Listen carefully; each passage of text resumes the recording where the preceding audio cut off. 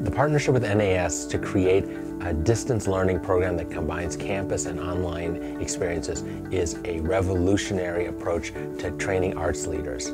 There's a lot of uh, different types of ad hoc training, but there's never been something that's as sequenced and kind of cohesive that sits in the middle of what do I do after I got my undergraduate degree and I've been working for a while, but I can't afford the time or the money necessarily to get a graduate degree at the stage of my career. I really saw this gap in my own biography, but then also in the field at large, I think, in terms of all of these positions that we do in the arts that end up being very strategic, very business focused, very financial focused. Does everyone's career require like the second master? Or could, can you stand in this for six to eight months and get the skills and colleagues and um, competencies that you want to forecast to the world?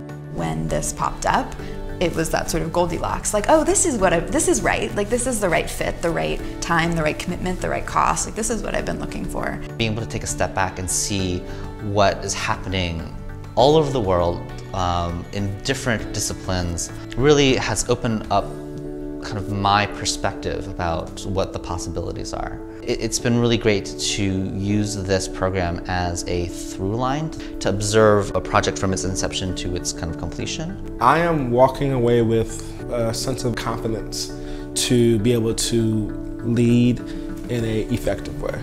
We expect them to leave the program with both a whole new set of tools that they can use in their day-to-day -day work to get better at fundraising, governing, measuring performance, engaging the community, and a whole host of other areas. And second, we expect them to have a new network of colleagues and peers that they can tap into in the years ahead as they move ahead in their careers. I mean, we really feel like learning never stops, that there's so many opportunities and ways in which people learn, formal and informal, and we welcome them into that network.